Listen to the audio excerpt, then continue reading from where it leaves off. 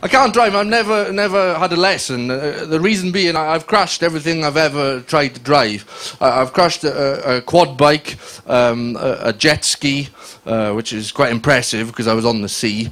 Uh, very little to bump into. Uh, I, I, crashed a camel. Uh, I.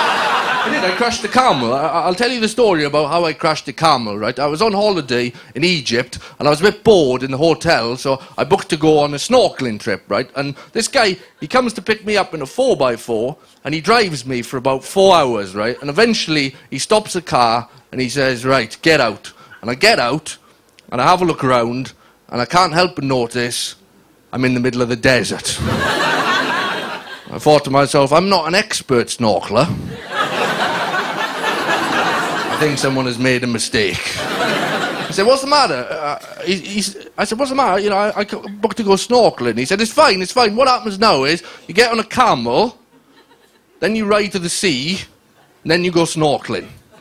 I was like, I don't want to get on a camel. I want to go snorkeling. That's why I booked to go on a snorkeling trip. And now I find myself in the midst of this North African version of the Krypton Factor you're throwing in extra stages I hadn't planned for, you know. I don't know if you've ever been on a camel. I wouldn't recommend it. Uh, the best way I can describe a camel to you, a camel is a lot like a Premiership footballer. They kick and they spit, and you wouldn't want one to fuck your sister. I'm on the camel, and the line of camels is called a caravan, and there's a guy in charge of the camels, and he says to me, Don't worry about this camel you're on, it's fully trained, right? No problems whatsoever. However, all these other camels milling round the sand dunes, they're wild. they're dangerous. Stay away from the wild camels.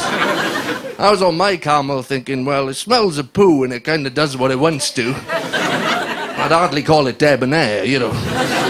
Anyway, two of these wild camels, they really were wild, right? They started having sex with each other outside. Actually, I guess outdoor sex isn't that wild for a camel, is it? if they were like properly wild, they'd be like fucking in a bungalow or something. anyway, they're really going for it. And uh, my camel, following my Premiership football analogy, he decides he'd like to get involved without being asked. he broke away from the caravan and started galloping towards these two shagging camels.